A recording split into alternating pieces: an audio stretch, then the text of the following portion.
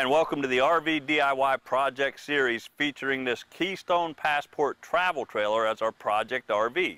I'm Mark Polk and I'll be your host today.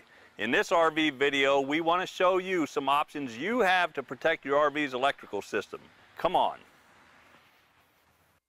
It's not uncommon for your RV to be exposed to faulty campground wiring like an open neutral, open ground, or reverse polarity.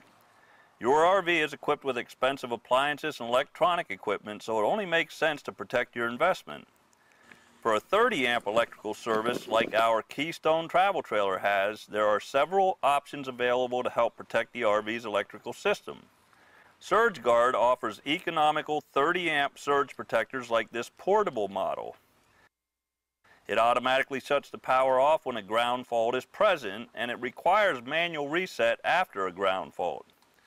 This model offers 510 joules of power surge protection. If you prefer more protection for your RV, this model tests for and identifies faulty power and wiring and has 2100 joules of surge protection. The LEDs illuminate to display the power status. For even more protection, there is this model with an LCD display.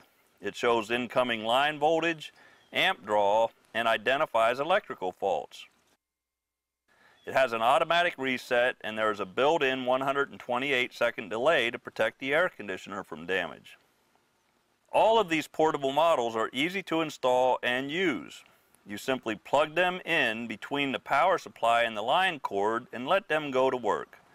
If you prefer not to plug and unplug the unit every time you set up at the campground, there is a 30 amp hardwire model that is wired directly into the RV's electrical system.